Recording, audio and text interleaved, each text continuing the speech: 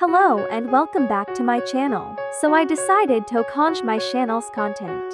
So basically what it will do is recreate essence from your favorite movie, TV show, anime, etc. And then I will as your ox you want me tows for the scene. So for example, this is what you have to do. So you add the ox you want to use first. Then add the scene you want to use. Hello? This is D. Who's that? Yeah? Well, your mama. And then I make UX in the scene. For example, again. Hello? This is D. Who's that? yeah? Well, your mama.